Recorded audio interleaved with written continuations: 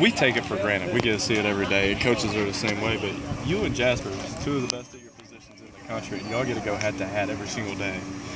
How does that make you better? How does going against him make you better, and how does that make your team better?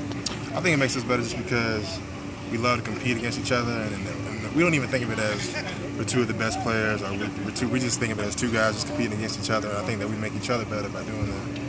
But fundamentally, you all are, are really sound. And how does does it help those younger players to see, all right, this is what you need to do? And sometimes, hey, he'll get you. Sometimes you'll get him.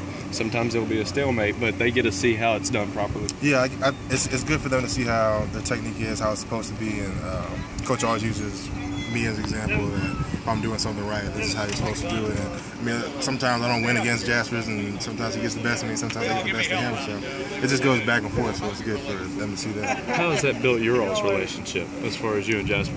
I think it's built this, uh, our relationship good because we're able to feed off each other and I'm able to help him. And yeah, if a guy's doing what I do, this is what how he can beat it, and he does it vice versa for me. You look at some of the young guys coming in. I mean, Tamel's really shown out. Some of the receivers have shown out. Did you all think coming out of spring that you all would have this many potential impact freshmen uh, after the spring that you all had?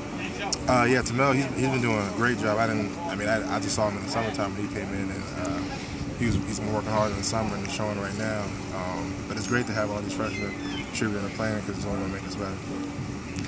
We talked about the defense last year and how much of a dramatic change it had from 2012, and you were a big cause of that up the middle. But a healthy linebacker core brought a lot to that. How much does having the right guys in the right spots allow everybody to really do what is their best thing on the field and make this team that much better? Yeah, I mean the linebackers help us a lot because they take the blocks off of us, we can get free, and so we just feed off each other and able to both make plays like that. And especially at your spot up the middle, there's four guys that can step in there and, and play it at any time. The depth last year was something that was big of being able to get fresh guys in and out. Nobody playing over 35 snaps a game.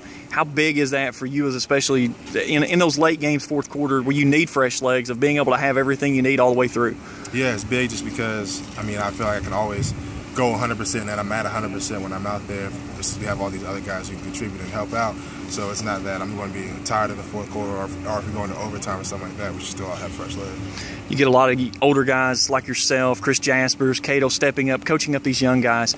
How much different does the, the players respond to when you guys talk to them and, and coach them up rather than just a coach of, of hearing it from somebody that plays in front of them every single day? I think it, it, helps them a lot just because that I mean coaches are always going to coach. They're always going to tell you what you're supposed to do and what you're not supposed to do. And I think that if it comes from a player, that they, they take it to heart better and they understand it better and they and they really believe in it. Coach Heater wants the the points given up this year down to close to 18 points. That's four points from where you guys were at last year. What's the the one difference that you guys have to make to be able to capitalize? on the, the defensive cues that you missed up on last year and really take a heart and take care of that this year? I think that we just need to finish plays and finish drives. Uh, too many times we couldn't get off the field on third down. And I think that, that hurt us a lot of times. So I think if this year, if we take that to focus that, that'll help us out a lot.